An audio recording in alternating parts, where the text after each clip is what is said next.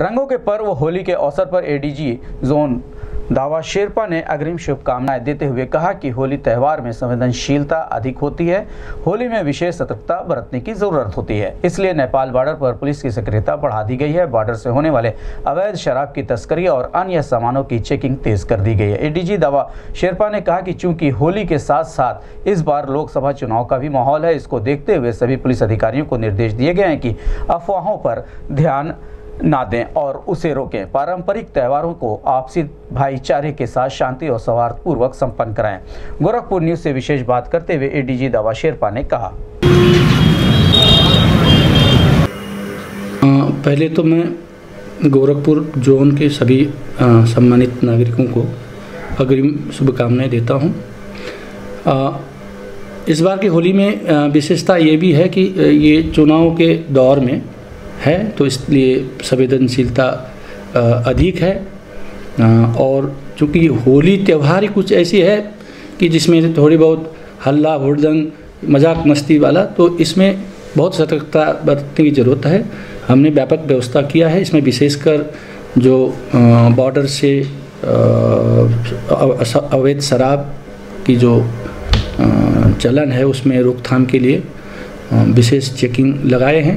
ये दोनों ही चुनाव को भी और होली को भी प्रभावित होने की से खतरा रहता है। तो इसलिए अवैध शराब में विशेष रोकथाम, उसी प्रकार से अवांछित तत्व जो ऐसे त्यौहार में फ़ायदा उठाते हैं और किसी तरह की गड़बड़ी फैलाने की कोशिश करते हैं। संप्रदायों के बीच में अफवाहबाजी करके उपद्रव चाहते हैं तो इनके इनके इनके विरुद्ध कार्रवाई और सतर्क दृष्टि रखी जा रही है। सर इसे कुछ कहना चाहेंगे जो होली में ज़बरदस्ती दूसरे पर लगाने का प्रयास करते देखिए ये त्यौहार सौहार्द का है और इसमें कोई एक दूसरे को ज़बरदस्ती नहीं करना चाहिए। अगर कोई करता है तो उनके खिलाफ सख्त कार्रवाई हम करे करवाएँगे। क्योंकि त्यौहार में जो सम्मिलित है उनसे खेलें।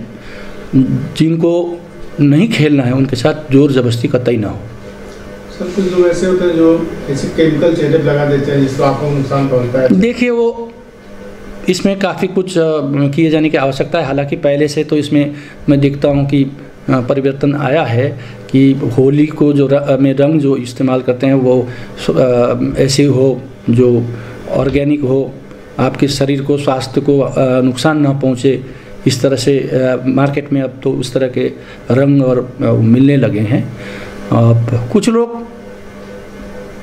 भद्दापना से ऐसे ऐसे चीज़ एक दूसरे पर मतलब डाल देते हैं जिसे उनके स्वास्थ्य को लेकर कभी, कई बार कॉम्प्लिकेशंस देखे गए हैं।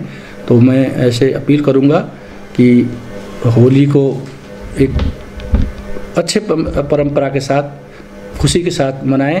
किसी भी प्रकार एक त्यौहार में घटना दुर्घटना से बचें और किसी विवाद से बचें और स्वास्थ्य के बारे में ख्याल रखें।